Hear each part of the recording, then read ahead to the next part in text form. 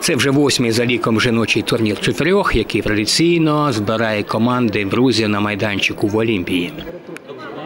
Ми впровадили таку назву Буковинська весна, і нам це дуже сподобалося. І другий рік поспіль е, змагання називаються саме так. Уже наскільки це стало традиційно, що команди з задоволенням хочуть е, брати участь в цих змаганнях, і е, намагаємося щось поновити, запросити нові обличчя. Ну, поки що в нас це виходить.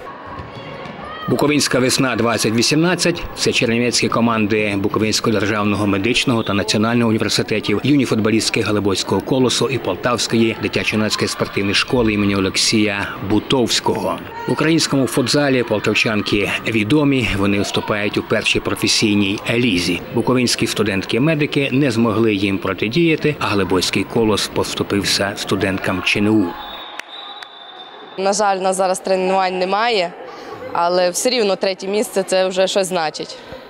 Все-таки залишились старі навички, щось хто що пам'ятає. Розчаровані, звісно, але ми боролись, думаю, непогано боролись. Як могли. Ми перші, хто забили в Полтаві, тому молодці. Ми молодці, так? Бійцівські якості у вас є, але у вас немає футзальних навичків. Е, Будемо старатись, будемо працювати над цим. Попереду тренування є. Ми тільки за перемогами їздимо. Команди теж добре грали, але ну звичайно слабші нас, але в них все впереді. Наша команда виступає в чемпіонаті України першої ліги.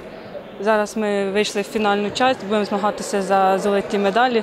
Дуже надіємося, що ми їх візьмемо. Звичайно, суперники всі можуть показати себе, але будемо старатися, все в наших руках. На церемонії нагородження цього товариського за духом спортивного змагання Буковинська весна 2018 відзначили не лише переможців Полтавського ДЮСШ імені Бутовського, а й усі чотири команди учасниці.